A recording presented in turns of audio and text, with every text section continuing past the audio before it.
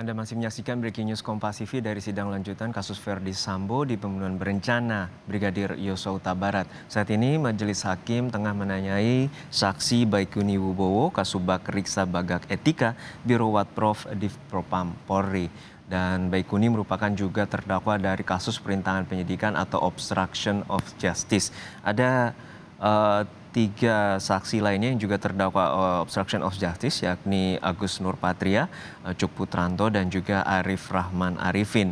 Sebelumnya Majelis Hakim menanyakan uh, saksi Arif Rahman Arifin terkait dengan foto-foto dan juga CCTV yang diminta dihapus oleh Susanto Haris yang juga turut menjadi saksi di persidangan kali ini. Susanto Haris adalah Kabak Gakum Provos di Fopam Polri. Dan saudara Arif Rahman Arifin terdakwa dari kasus obstruction of justice di kasus pembunuhan Brigadir Yosua Huta Barat dihadirkan sebagai saksi di kasus pembunuhan berencana Brigadir Yosua dengan terdakwa Richard Eliezer, Ricky Rizal dan Kuat Ma'ruf. Hakim meminta kronologi keterlibatan Arif Rahman dalam kasus ini.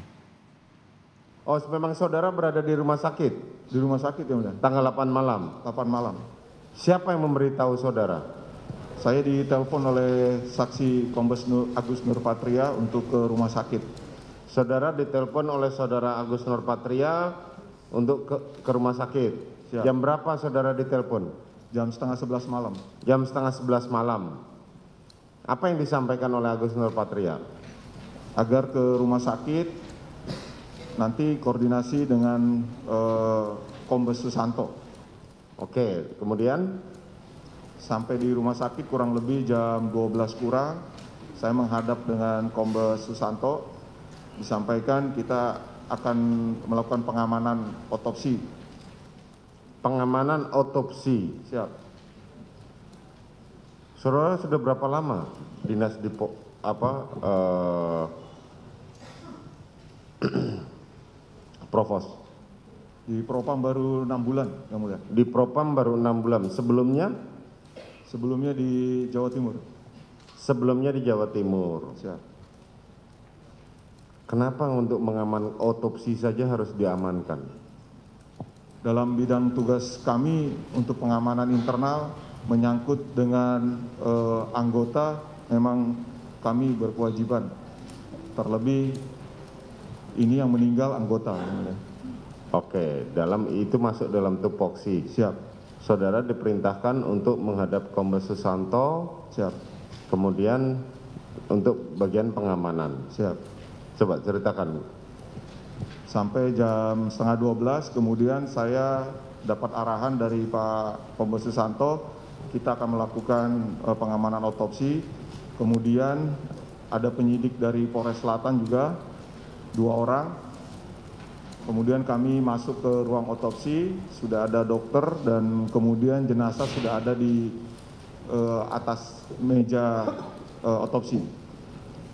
Kemudian okay. dokter menjelaskan akan memulai dan menanyakan apakah akan tetap ada di sini. Saya bilang kami akan menunggu di luar saja. Terus yang bertahan di dalam siapa selain dokter? Hanya dokter bersama beberapa dokter muda atau saya kurang tahu jelasnya. Tidak ada anggota dari Biro Propam di situ? Tidak ada, kami hanya menunggu di luar. Menunggu di luar. Oke, kemudian? Kemudian kurang lebih jam setengah dua apa jam dua, dokter memanggil menyampaikan sudah selesai otopsi, ada beberapa uh, temuannya, nanti akan dibuatkan dalam laporan sementara. Oke. Uh,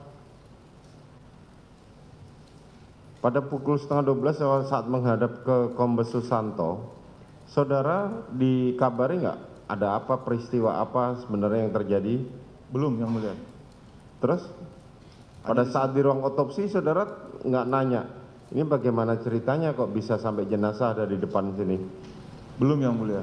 Karena waktu itu juga Pak Kombes Santo juga saya lihat lagi sibuk, nelpon jadi saya juga tidak bertanya. Jadi saudara tidak tahu menahu? Belum tahu yang mulia. Lah kan saudara untuk pengamanan artinya kan harusnya bertanya-tanya. Ini ada apa sih? Ada peristiwa apa dan ini siapa yang meninggal?